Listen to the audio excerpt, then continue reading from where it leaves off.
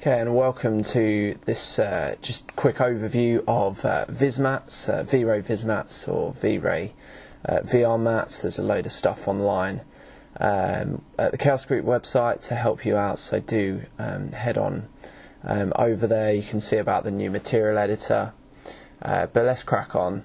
Um, if you, I mean, there are loads of websites that you can uh, use. This one's vismats.com for downloading uh, these types of materials. There's loads of uh, libraries, many of them are free, um, and you can just navigate through. Um, we're going to download a leather material, um, so uh, this one. Um, you don't have to pay for these, you don't even have to sign up on this website, which is fantastic. So let's download it and it gives you the zip file which obviously uh, you need to unwrap uh, unwrap or extract uh, rather. So um, let's grab it and extract it to get the files. Um, and you'll notice uh, once we've extracted it um, that it gives you um, the, the vismat file and then any textures that are associated to that. So back in 3ds max if we open the material editor and uh, if we uh, set up a V-Ray VR map material um, and double click it to get its properties, um, uh, then there's not many options. But if you click on File to open the Vismat um, that we're uh, that we've downloaded, and then um, there it is, and all you need to do is go to the uh, Open Editor button, and uh, this will give you the properties for that Vismat that that we've downloaded. So there's loads of stuff here, loads of rollouts, uh, some of which will be familiar, um, but some of which won't. I mean, it's obviously a different layout to the normal um, editor, which is a shame, um, but a lot of the properties are similar, and you can edit these in the same way uh, that you normally would, and uh, just get you just need to get used to a new um, editor. Really, that's uh, that's about it. Really, um, hopefully all these will be familiar uh, to most of you. You've got your maps as well, like your bump, um, etc. You can even add layers. Um, so um, if you if you want a refraction layer, for example, then you can add that in, and that just comes up as you can see as a separate rollout. Um, so I mean that's fairly handy just to be able to layer it.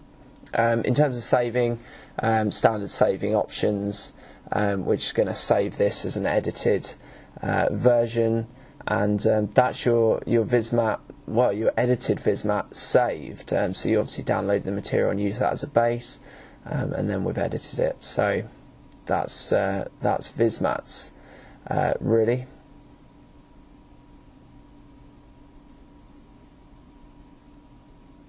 Okay, now we're going to create a new material for this uh, item. It's going to be a fabric uh, material, and we're eventually going to save that out as a, uh, a Vismat material uh, too. So if we uh, just open the material editor, this is uh, this is the material that we're going to create. Um, you can see it's uh, all set up, the bump, etc. So why don't we just crack on um, with that and add a bitmap into um, the uh, diffuse slot.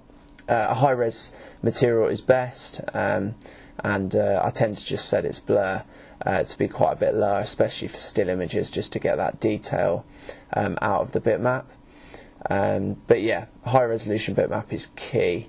Uh, we're going to then set up the bump map. So if we take a copy of that material um, and then use the bump, um, this is just a grayscale version really of the original, and you can use levels etc.